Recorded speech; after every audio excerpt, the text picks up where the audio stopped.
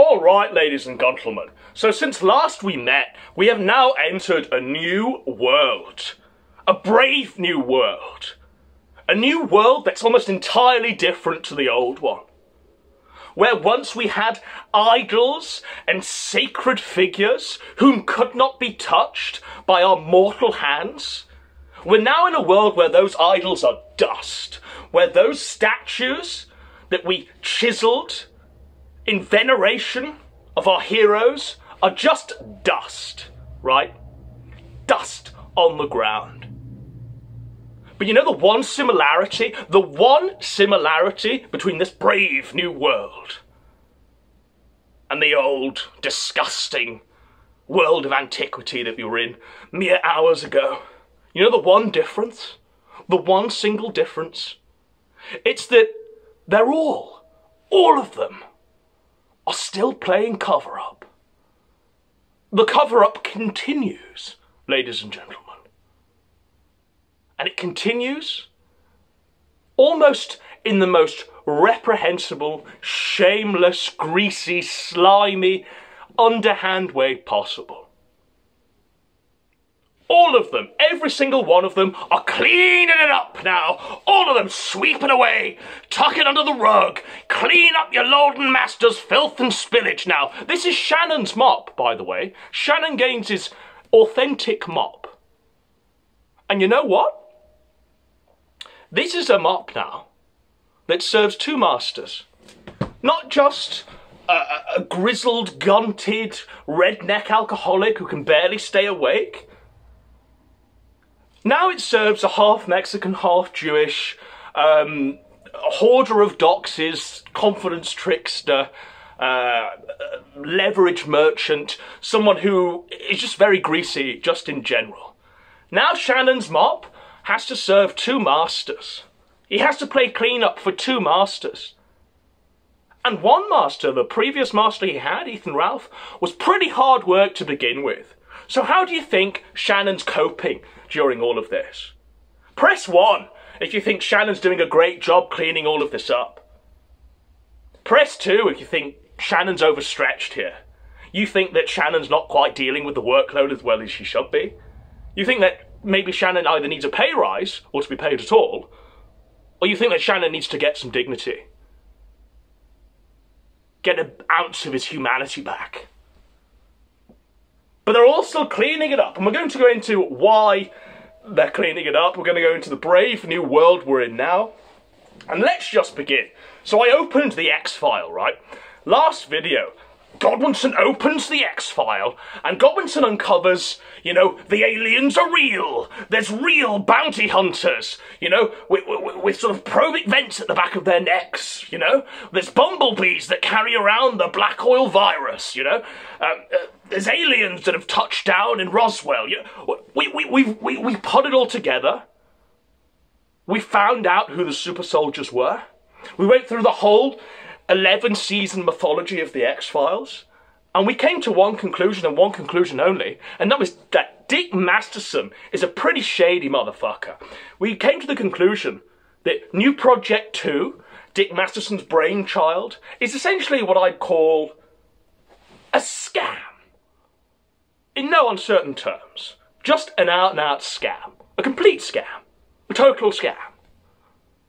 But a successful scam. A scam that's managed to, what, soccer in some of the biggest names who've for so long professed the beauties, the virtues, the benefits of being anonymous on the internet and keeping your identity secret. Well, it turns out that these people have given Dick Masterson their social security number. Now they're fucking at you know, at a moment's call, Dick Masterson has a bit of heat on himself. And then he starts calling in favours. Now, this was a great deal, I suppose, when no one knew about it. When Dick Masterson was like the coolest guy on the internet still.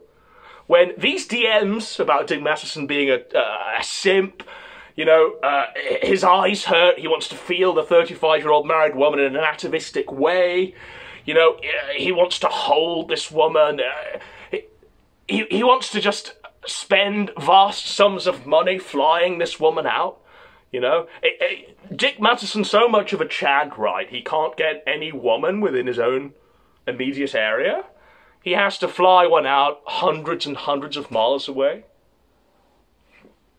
But that's by in the by, right? That's by in the by. Because what that's done is uncover the grand cover up. Because the DM started to finally see a bit of heat being put on Dick Masterson. And the day came, that day which might never come. But one day, Dick Masterson might call on you for a favour. That day may never come, but when it does come, you've got to obey or you will not get your $26 from New Project 2. If you don't play ball, Dick Masterson's going to pass on your dox to Ethan Ralph. Or sock puppet it and put it out on Kiwi Farms or 9chan or 8chan or 4chan. Either way, you'd public da- your private data is pretty much public property the moment Dick Masterson gets hold of it. The moment you put your private data, your payment details, through this new project site, you're a fool, for a start, and you might as well say goodbye to your anonymity. You might as well say goodbye to having an opinion that's not going to be compromised by, you know, Ethan Ralph. what can we say? Anyway, that happened. The X file was opened. We uncovered this grand conspiracy. And it turned out that it was all true! It was all real, ladies and gentlemen. Even the wildest speculations turned out to be 100% truth. Truth, ladies and gentlemen. It's been a big scam, and they're all colluding to try and keep it silent, try and cover it up, to try and clean it up now. All of them, every single one of them, cleaning it up, pretending it's a nothing burger, nothing to see here, folks. Just nothing to see here. There's absolutely nothing to see, ladies and gentlemen. Except there is. There is. So what happens? We put out a video, right? We put out a video. We've got one of the lead accused. Uh, we've got the, one of the lead suspects, right? We've got one of our chief suspects in that chat of that video. Joshua from Kiwi Farms, and he's he's cleaning it up. He's he's running cover up, and people are going, "This is pretty shady. This is pretty weird," you know.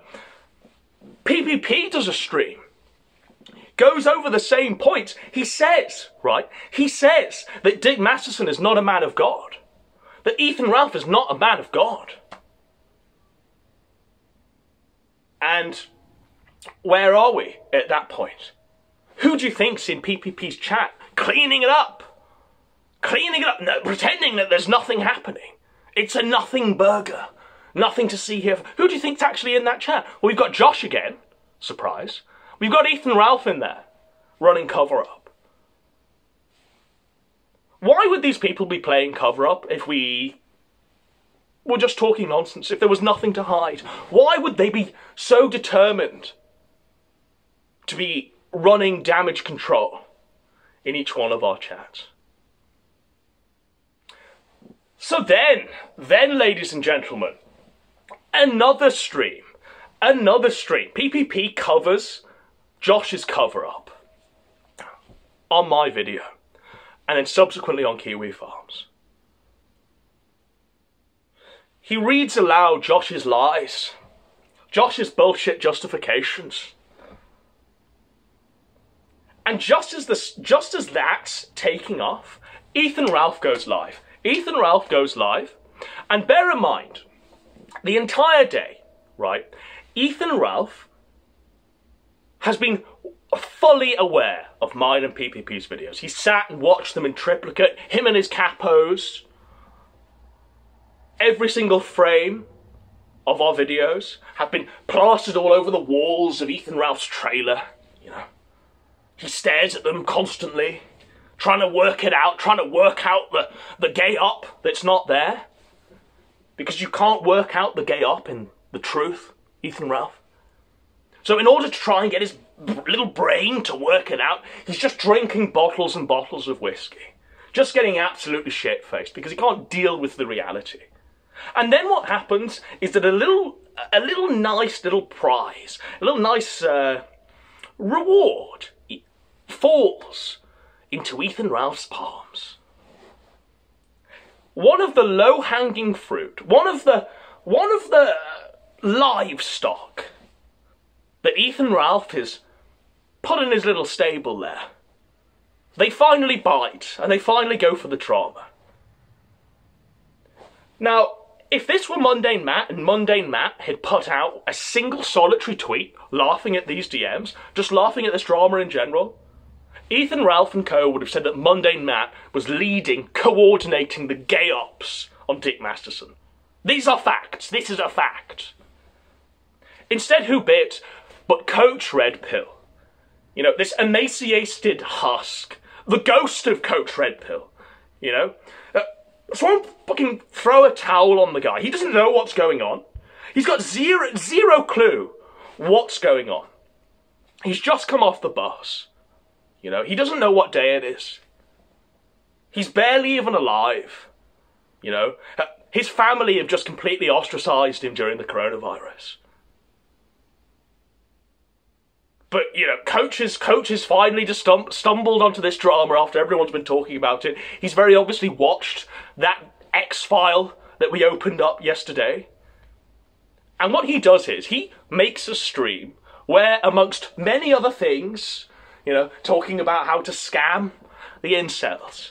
Coach mentions the Dick Masterson drama and recites verbatim my points on the whole issue. What do you think then Ethan Ralph will do? Do you think he's actually going to say PPP and Godwinson have been coming at me pretty hard with some valid, valid criticisms on my scummy, scammy behaviour and my collusion with my Lord and Master Dick Masterson? Or do you think he's going to use Coach Red Pill, the lowest of low hanging fruit, as a way of proxy, as a way of absorbing all criticisms and, and what starving oxygen from the PPP Godwinson crew? What a disaster. What a disaster. So we have, right, we have a full day of Ethan Ralph lying to his fans, lying to the public, lying to the people, just saying on Twitter that Coach Red Pill is the grand puppet master, is pulling all the strings, right? It's coordinating this gay op on Dick Masterson. Coach Red Pill Coach Red Pill, who doesn't even know what fucking day of the week it is, who hasn't seen his children in years. You know, Coach Red Pill, you know, seconds from death. Coach Red Pill, a, a person whose will reading we did live on air. Coach Red Pill, right, is the grand puppet master. Somebody who can't even use Skype is the grand puppet master of this whole affair. Yeah, all right, Ethan Ralph. We know why you've done it, and we know we're going to see what scummy behaviour you did when you started your stream. So Ethan Ralph spent the whole day doing that. PPP's gone live, he's shitting on Josh, he's pointing out the hypocrisy there. Ethan Ralph goes live with the kill stream. And he spent the whole day pinning pinning the tail on Coach, saying that Coach is the ringleader, saying that Coach is the great mastermind behind all of this. Knowing full well it's bullshit, knowing full well that he's blatantly ignoring the PPP Godwinson question. Because he knows if he were to address it, he'd have to face us and he's scared. His arms are too short to box with Godwinson and PPP. Just too short to get into the ring with Godwinson and PPP. Just shameless behaviour. So he goes after this elderly, decrepit, frail, likely to die of coronavirus Chilean. Just shameful. He goes live on air and to deal with his own lies, to deal with his own shameful behaviour. He's pissed drunk. This guy is shit faced. This guy cannot even string a sentence together. This guy can't speak properly. He's barely even alive. He's Nick. He's Nick Cage and leaving Las Vegas drunk. This guy is a, a wreck, a total, total alcoholic mess. He's drunk himself into this omni shambles where he, he can't function properly. All he can do is force this dolphin esque high pitched laugh that is the most forced laugh I've ever seen on Ethan Ralph. And that, that surely must win a prize.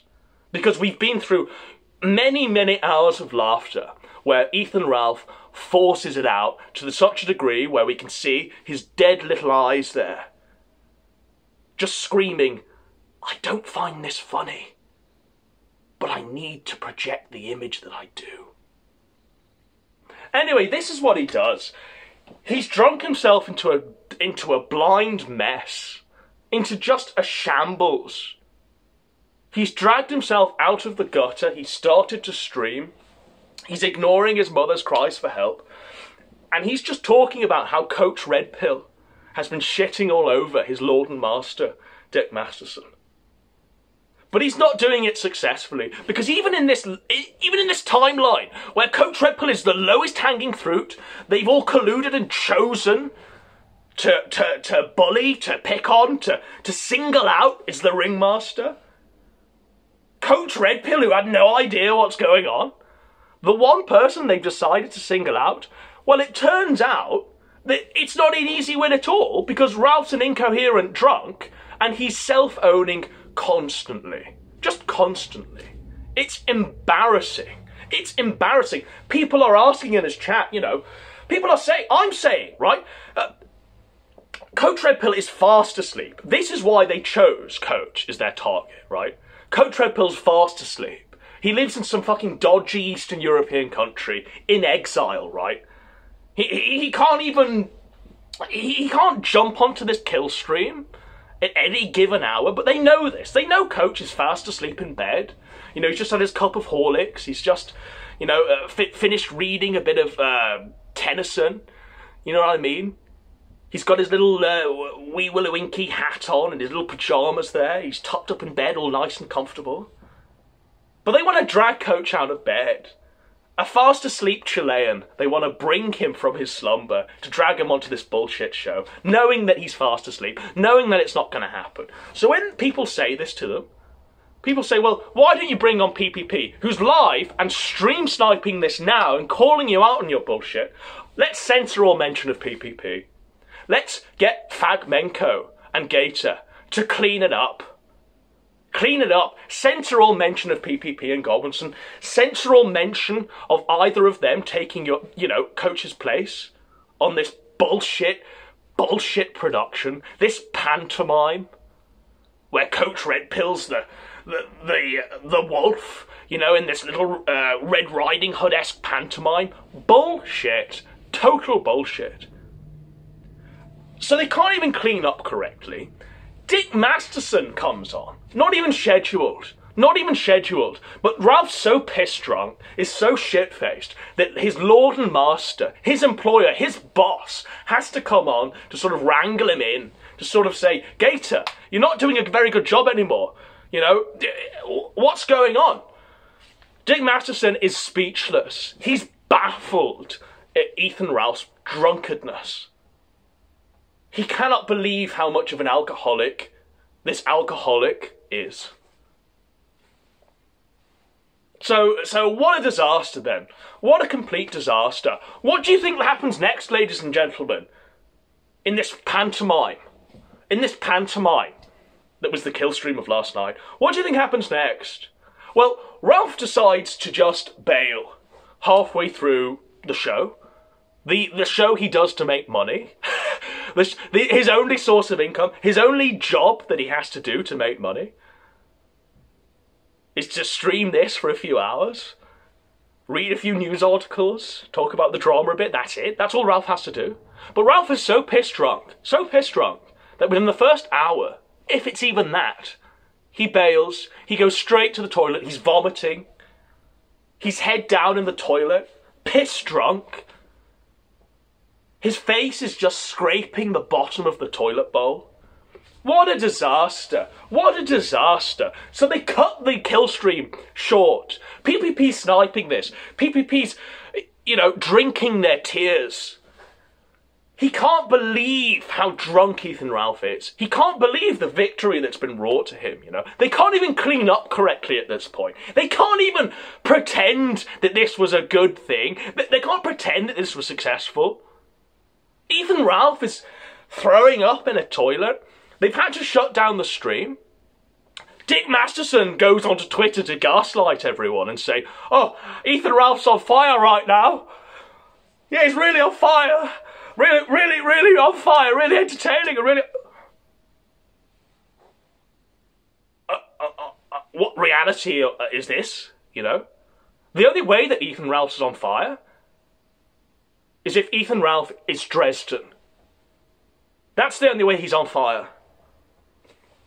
So, so we've got the gaslight here. We're supposed to believe that you know this was a successful appearance, and then Fagmenko and Gator, they start up the second stream, the the after stream that's supposed to be on hours later.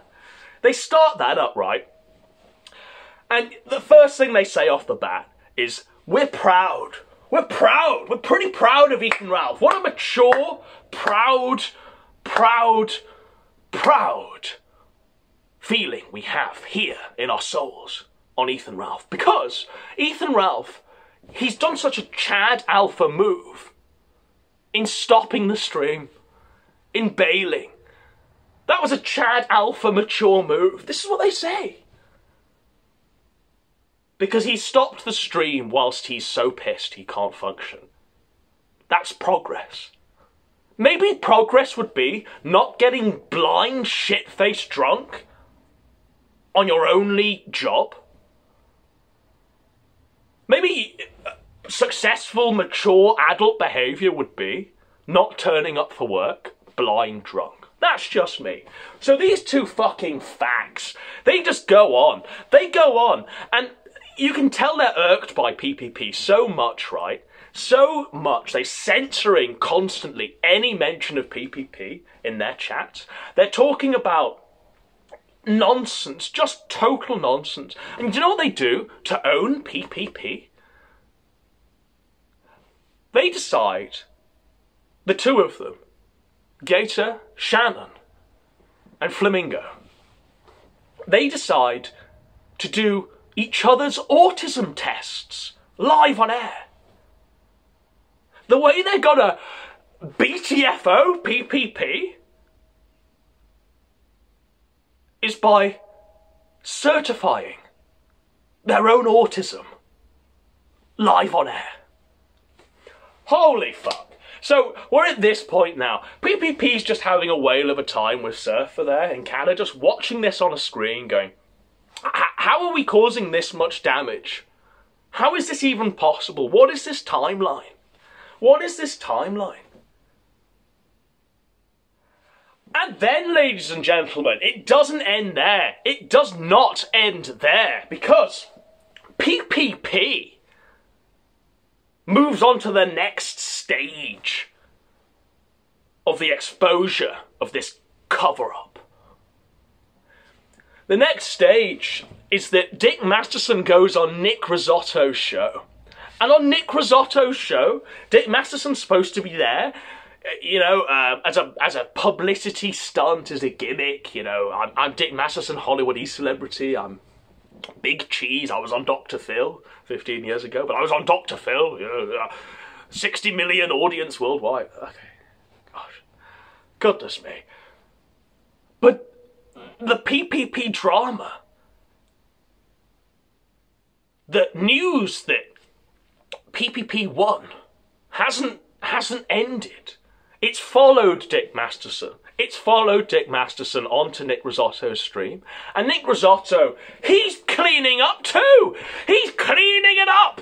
Any mention of PPP, and we've got hundreds, nay, thousands of mentions of PPP and PPP's winning.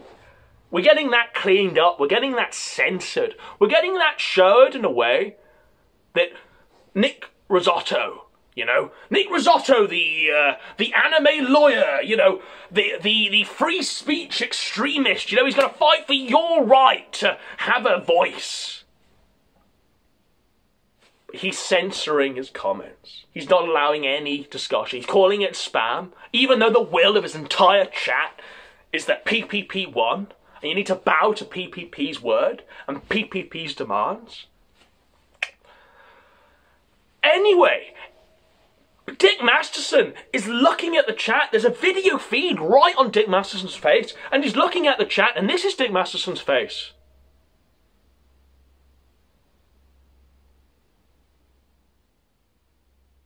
You can literally hear Johnny Cash's hurt just by looking at his face.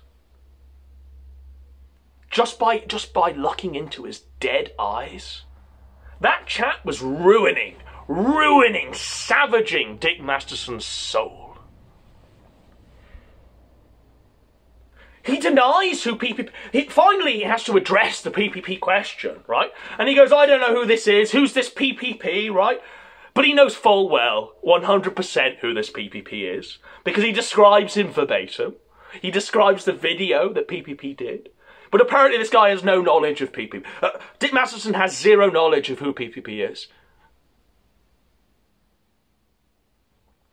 Appalling. Just appalling. So that's where we are at this point. Clean up, cover up, collusion, and lies, ladies and gentlemen. Lies. That's the worst thing. And the cleanup continues, the cover up continues, and it doesn't show any signs of ending. The train keeps on rolling. You know, what's what's the next show? What's going to happen in the next installment? You know, of the Godwinson Crazy Hour. What what's next? We're in a new world now where PPP single-handedly has slayed about five of them. Five of these untouchable, uh, you know, big big shots, right? I slayed five of them by doing nothing, by pointing out the truth. So this is where we are at this point. This was just like a little recap of what's been going on to keep everyone up to date.